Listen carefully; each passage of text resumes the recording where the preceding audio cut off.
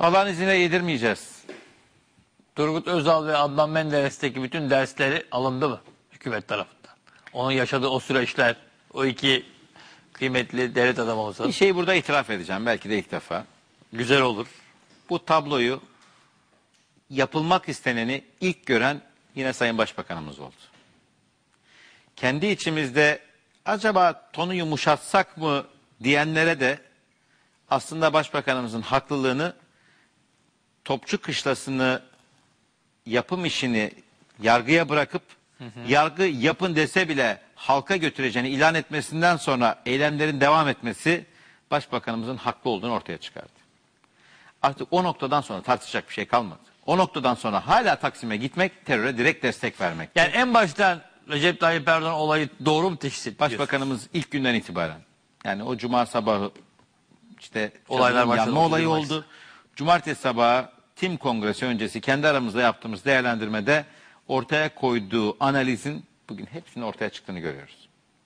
Peki Ki inanın bana ben yaklaşık 11 yıldır Sayın Başbakanımızla çok yakın mesai Tabii. içerisinde olan e, kendimi de en yakın çevresinde olan insanlardan birisiniz. son derece bağlı, sadık, e, çalışkan, yakın çalışma arkadaşı olarak gören hatta bir kardeşi gibi gören biri olarak söylüyorum. Evet.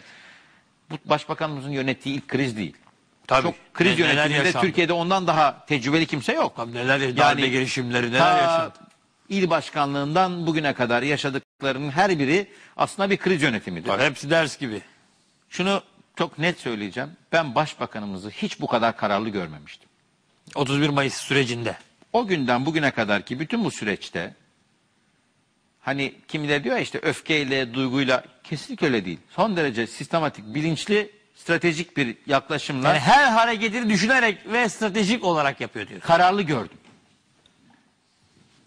Evet. Yani daha evvel yaşadığımız kapatma sürecinde, Cumhurbaşkanlığı seçim krizinde birçok 27 konuda Nisan süreci- biz son derece gergin, biz son derece bir şeyler yapmalıyız şeyindeyken bizi yatıştıran sabır, durun diyen liderimiz bu sefer şöyle yapacağız, böyle yapacağız, şunu diyeceğiz diye çok netti.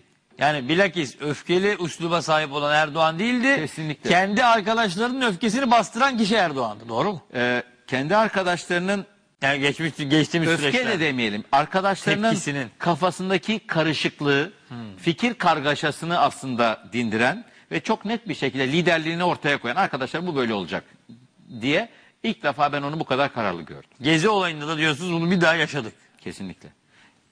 Hakikaten Türkiye için çok büyük bir şans. Bu öngörüye, bu vizyona sahip olması ve Türkiye'yi zaten nereden nereye getirdiği ortada. Götüreceği yerde inşallah dünyanın en güçlü 10 ülkesinden biri olacak. İnşallah 2023'te hedefimiz o. 2023'e inşallah İlk 10 ülkeden biri o. Ben de inanıyorum bunu Türkiye başaracaktır.